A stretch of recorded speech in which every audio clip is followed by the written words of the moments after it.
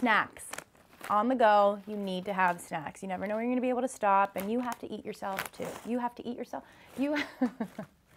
All right, rewind. Hi guys, I'm Shay Mitchell, and I am gonna take you through my Béis diaper bag slash not diaper bag because does it really look like a diaper bag? I mean, maybe it does now, it's super stuff.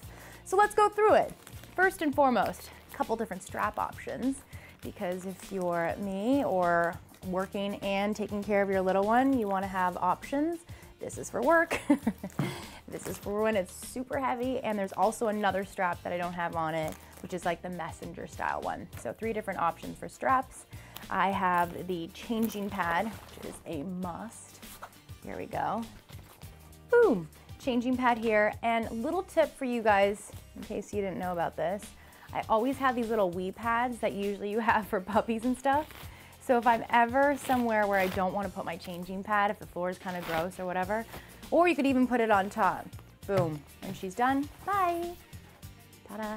Okay, so that is the outside. One of these pockets, I always have wet wipes because that is an absolute must especially in this cold flu season. Kleenex, oh, these are my little, what are these, nursing pads? A must.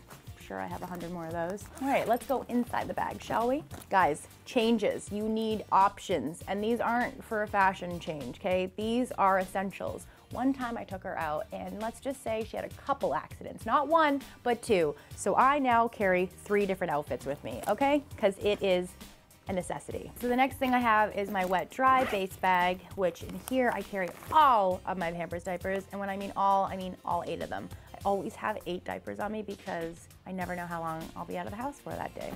So I have my diapers, I have my wipes, snacks, because for a mom on the go, sometimes you don't have time to stop. All right, oh, here, we, oh, more snacks.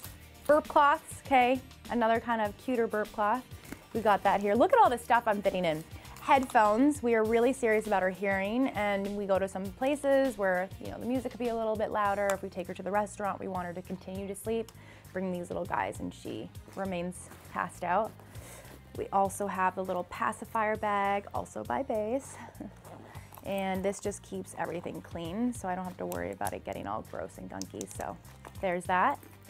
Fun thing that I carry with me is this little card from a certain somebody uh, love you, miss you, honey, and that's my nickname. My little essentials kit right here just has some mints, my lipstick. This is what's happened. I had a kid and now I don't carry a purse around. This is my life. This is for me. It's a little bit of money, more hand sanitizer, which is really protecting her, and lipstick. I mean, anyways. Sleep mask, also really essential for those moments when you get five minutes to yourself put this little guy on, the world goes dark, okay? And what else do I have? Charger, very important, cell phone charger. I think that's about it, guys. That's my diaper bag.